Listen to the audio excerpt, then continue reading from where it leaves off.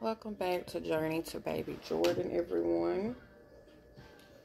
So I'm giving you guys a quick update. I was supposed to be putting out his 11 month update and his knee pad video, but I want to go ahead and get this one put out. So, um, Mr. Ray'meir had another um, asthma attack, except he had his inhaler this time and it didn't work. Bless you.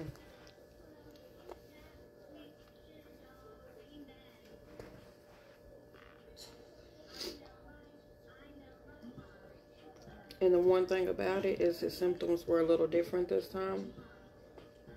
So if y'all remember last time, it was stomach going in and out real fast.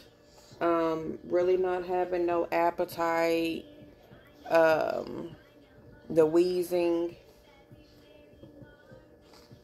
What are you trying to get up here? Get your toy.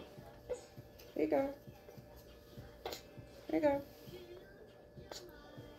So for this time, it was a little different. So for three days before all this happened, which had happened yesterday, I noticed he was making different sounds with his his mouth, like. But it kind of, I thought maybe it's sinus and allergies because it's like, uh, uh, like something kind of like that. And so, you know, I'm paying I kept telling my husband, like, something's going on with him. I'm just not mm, mm. sure exactly what it is, but something's going on. And my husband's normal reaction, he looked fine to me. That's why I always tell everyone if anybody's going to know what's going on with our son, it's going to be me. My husband does not, I'm not going to say he's not paying attention because he pays attention, but I I noticed the differences if that if that makes sense. I noticed any differences. And I kept telling my husband the night before it happened. So today's Friday. This happened Thursday night. Uh so I was telling him before we went to sleep Thursday, I'm telling you, I know for sure, for sure, something's not right. Something is not right. I said, I probably won't get much sleep. I said, because I'm, I'm paying attention. I'm, I'm on it. We was getting in bed probably about 6.45, 7. Okay, so I noticed, like, he's acting like he can't really breathe good. And when I say that, a lot of people wouldn't really notice that, but I did. He's sitting up here. It's almost like he's holding his breath. And I kept, I, I, remember showing that to my husband at night, but he was active. He was playing a lot. But I still noticed, like, he's, it's like he's holding his breath.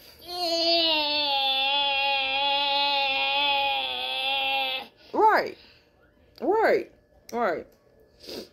And so I just couldn't, I couldn't sleep good. And then all of a sudden, here we go with the stomach it was going in and out, in and out, in and out. So I said, okay. I went ahead, I gave him in his inhaler, one pump. I watched the flap go up six times. I waited a couple minutes. I gave him another pump. I did the same thing. It, it was like immediately, not within two minutes, immediately. It's like he had this boost of energy. His stomach wasn't doing that. He was breathing really good. Mm. Everything that mm. he mm. needed. Yeah, there you go. Yes, sir. Mama try to hurry. And so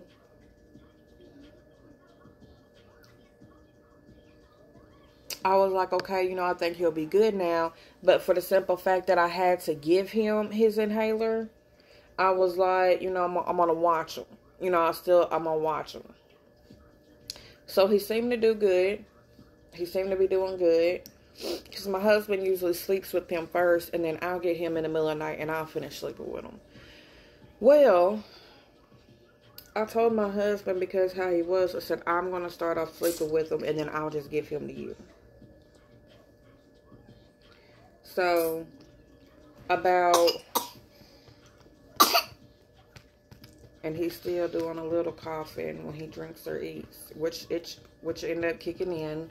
Um, so around twelve o'clock, he started choking when drinking. That was around time I was going to give him to my husband. And I'm telling my husband, you know, you need to be make sure he's sitting all the way up. My husband was half asleep and half awake, and our son has his habit of he will sleep straight down, and he had went down, and my husband uh was, trying to raise him up, and he had went to choking, and he had him sitting straight up, and he was still choking, and I was like, see, that's that's one of them things. I was like, I'm telling you, baby, something ain't right. So we end up, my husband, it took him a little while, but he would give him a little bottle taking. I give him a little bottle taking. So fast forward to 5 a.m. Now he's wheezing. And I'm sitting there telling my husband, I gave him his inhaler. There's no reason he should be wheezing, you know, but this is, we're new to all this asthma stuff. So, um, I'm telling my husband, you know, we're getting our stuff ready, getting up, getting ready for work and everything. And I'm telling him, you know, I'm, I'm something's just not sitting right with me. Like I could tell something is going on with me.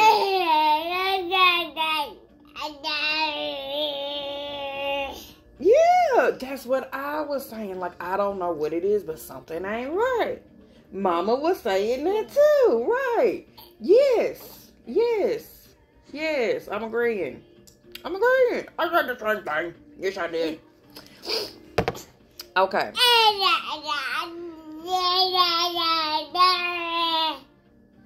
So my husband was like, I can hear a little bit, a little bit. So he went outside to start his truck. By the time he came back in to get ready for work, he was on full on wheeze. Like you could uh, you could hear him. And I was bringing him to him. He said, I hear him. He said, Okay, I'm finna call my boss. So I text my boss. Now we're getting our stuff together to head to the hospital.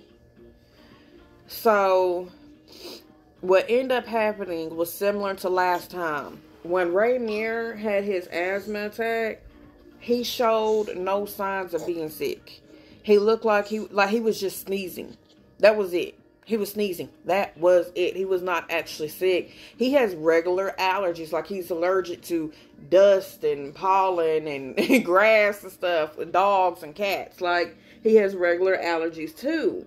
And so with the the weather, you know, changing now, I just assume like you know we don't have him outside a lot, but we take him outside like once a day for like 10 minutes let him you know get used to how the weather is changing without actually taking him out in town. Um and so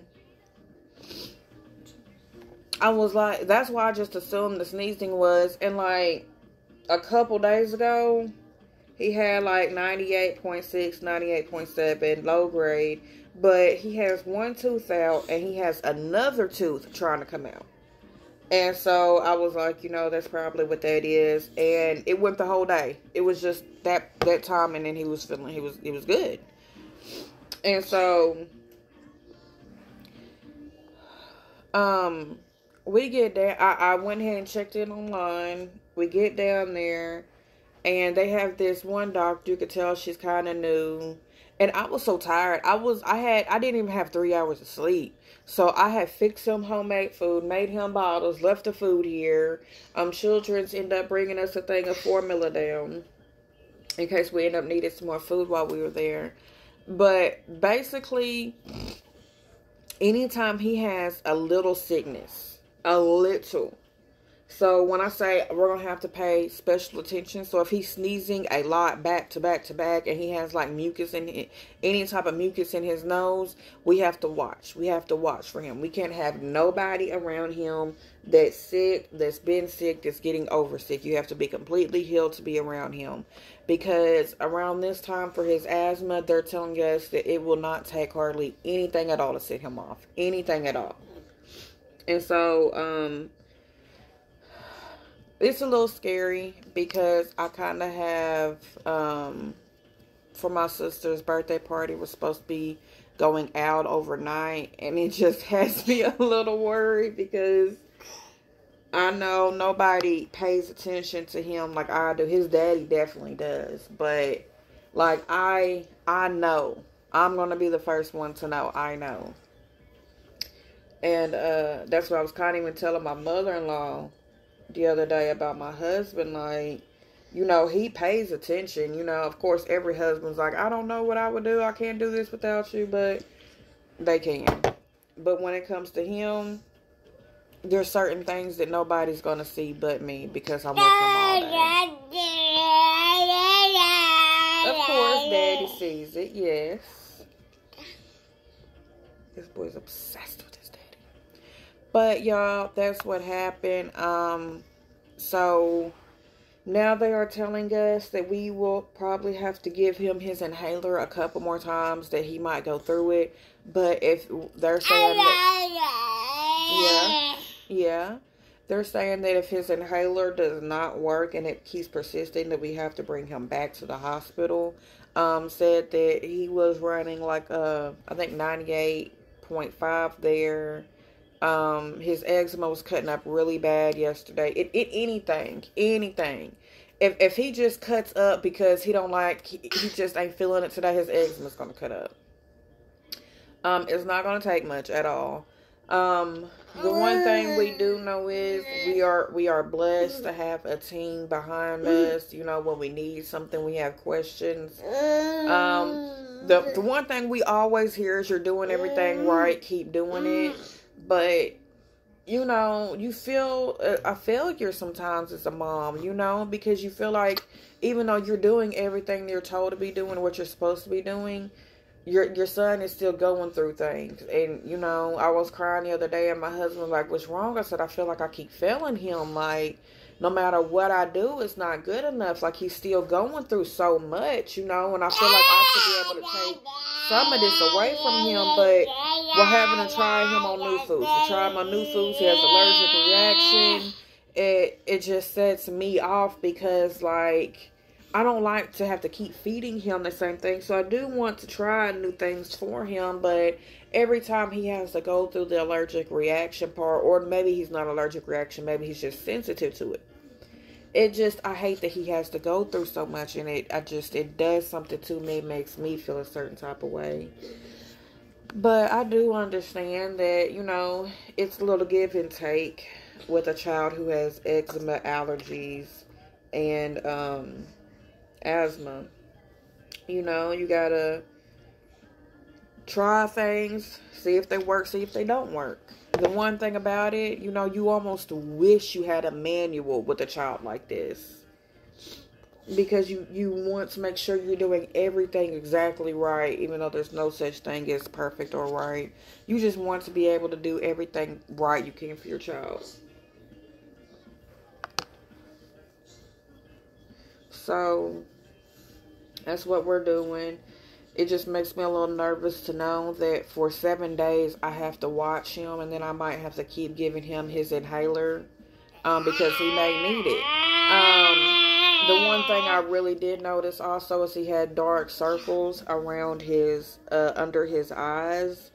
And he has not been taking his naps all the way, and so I just assumed it was because he hasn't been you know, like he's he might take a five minute nap here, a fifteen minute nap here, a thirty minute nap here. So I just assumed that's what it was, you know. But y'all, if you're not sure, ask questions, pay attention to signs, write things down. Um, when I wasn't sure with Ray'meir, every time something happened, I put it in my phone, the date, the time, and like a description um, because it's so hard for something going on for you to remember what happened last week, you know? So if something's going on, man, just write stuff down, do what you can, do the best you can because most parents, the best ones, always feel like there's something better that they could be doing. And only thing you can do is keep doing what you're doing. But that is the updates with Mr. Ray'meir. Um, he's a little itchy because he has um, a sensitivity to apples and some of the steroid medicine they gave him. I was so sleepy. I heard her say apple, and by the time I realized that it was too late, like everything, I my I was just so off yesterday. This was me trying to stay awake, just Y'all, it was it was it was a rough day yesterday, but we got through. We did what we had to do. Um, I'm gonna let this video go because I don't want it to be this long and it's already longer than I wanted it to be. And uh wanna keep just wanna keep you guys updated. And me and him have to get ready for work. I would tell him to tell y'all bye bye, but he's so in Gracie's corner, he probably wouldn't even hear me talking to him. Ain't that right, Ray'meir? Exactly. okay, guys, until the next video. Have a wonderful, blessed day. Have a wonderful weekend. And, and, and, and stay as sanitized as you can during this season. Have a blessed day, y'all. Bye.